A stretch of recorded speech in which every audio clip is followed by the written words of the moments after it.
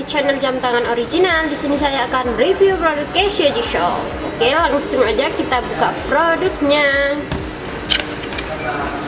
Oke, di sini ada garansi internasional.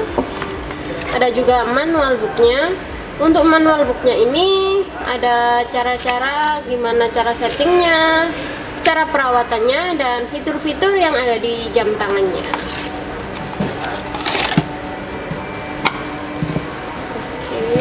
Untuk produknya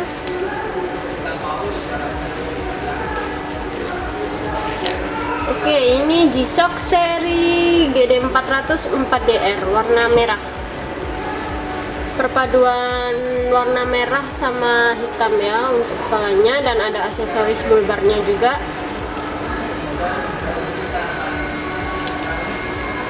Nah, untuk jam tangan ini udah dilengkapi fitur seperti alarm, work time, stopwatch, dan timer juga ada. Untuk water resist, water resistnya sendiri udah sampai kedalaman 200 meter. Oke, selanjutnya saya akan jelaskan fungsi-fungsi tombol yang ada di sini. Nah, untuk tombol yang di bawah ini biasanya untuk light. Kita coba dulu lightnya. Nah, lightnya warna putih ya.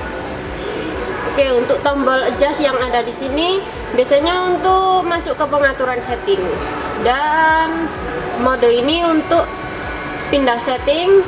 Tombol reverse ini setelah masuk ke setting untuk mengurangi angka. Dan tombol forward di sini untuk menambahkan angka. Oke, kita coba buat setting ya. Pertama, tekan adjust sampai bunyi beat atau angka yang di sini berkedip. Oke. Kita udah masuk ke setting ya. Setelah itu tekan mode. Pertama di sini kita cari zona waktunya dulu. BKK atau bangkok. Caranya tekan tombol kanan atas atau bawah.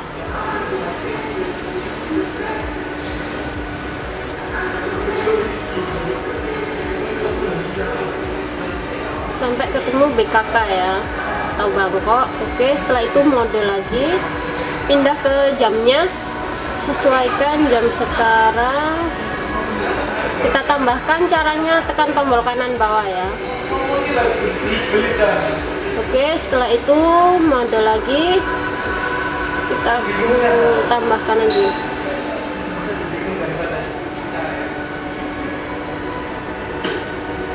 Oke setelah itu mode lagi ini untuk formatnya. Formatnya ada dua yaitu 12 jam sama 24 jam. Caranya untuk pindah format tinggal tekan aja tombol kanan bawah. Nah udah pindah. Oke. Nanti kita sesuaikan lagi jamnya. Setelah itu mode lagi. Ini masuk ke tahunnya bulan dan tanggalnya. Oke kita mode lagi. Nah ini untuk lightnya lightnya ada satu detik sama tiga detik. Untuk pindah yang ke tiga detik kita tekan tombol kanan bawah. Oke setelah itu kita mode lagi. Tadi jamnya salah ya. Kita ulangi. Nah kita tambahkan.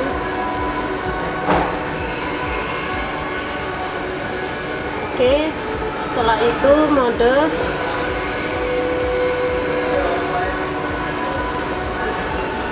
Ini masuk ke pengaturan awal. Setelah semua setting selesai tinggal tekan adjustnya aja satu kali. Oke pengaturannya udah selesai. Pastikan tidak ada angka yang berkedip.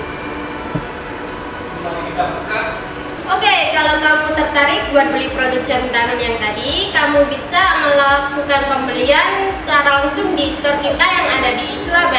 Jakarta. Untuk yang di Surabaya, kita ada di Tunjungan Plaza 2 lantai 1 dan untuk yang di Jakarta, kita ada di Atrium Senen dan Pasar Baru. Kamu juga bisa melakukan pembelian di website kita yang ada di www.grosirjamtangan.com dan ada juga kita di marketplace seperti Tokopedia, Shopee, Bukalapak, Blibli.com, dan Lazada.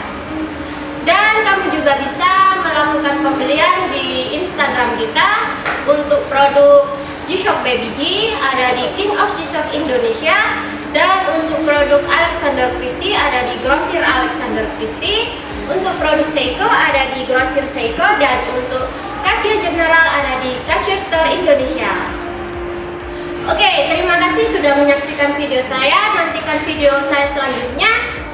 Jangan lupa tinggalkan komen, like, dan subscribe.